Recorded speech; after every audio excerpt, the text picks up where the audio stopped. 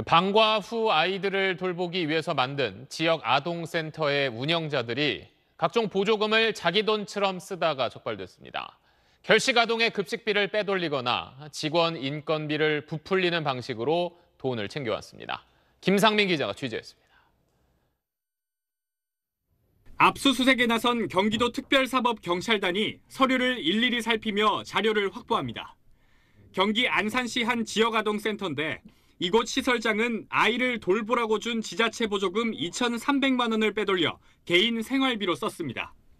직원 인건비를 부풀려 지급한 뒤 되돌려받는 수법을 쓰다 덜미가 잡혔습니다. 화성시 또 다른 지역아동센터의 시설장은 한술 더 떴습니다. 돌봄아동이 밥 굶지 말라고 준 급식비 일부를 자기 자녀 등록금으로 가져다 썼습니다. 급전 돌려막기까지 3천만 원 가량을 빼돌린 혐의를 받습니다. 시설장은 통장을 함께 쓴 건 맞지만 돈을 되돌려 놨다고 주장합니다. 자녀 교육비 한 100만 원 정도 쓰시고 이런 적이 전혀 없으세요? 사용한 거는 맞는데 그거는 채워 넣었죠. 급전이 필요했을 때 통장에서 그 꺼내서 좀 지금 제가 얘기할 수 없다고요. 이 밖에 인건비 1,100만 원을 자신이 목사로 있는 교회 보험료로 사용한 50대 시설장도 있었습니다.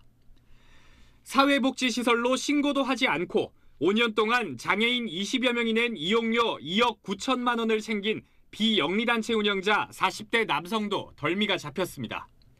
이 운영자는 친인척을 장애인 활동사로 등록해 급여 지원금 4억 8천만 원도 받아 챙겼는데 정작 장애인에게는 용변을 가리지 못한다며 화장실에 못 가게 하고 물과 음식도 주지 않는 등 학대한 혐의로 경찰에 고발됐습니다. SBS 김상민입니다. 네, 안녕하십니까. 김현우입니다. 더 많은 뉴스와 라이브 이벤트를 보고 싶으시면 화면 오른쪽을 눌러서 구독해 보시길 바라겠습니다. 또 저희 SBS 앱을 다운로드 하시면 속보 알림도 받아 보실 수 있습니다. 항상 저희 SBS 뉴스를 시청해 주셔서 대단히 고맙습니다.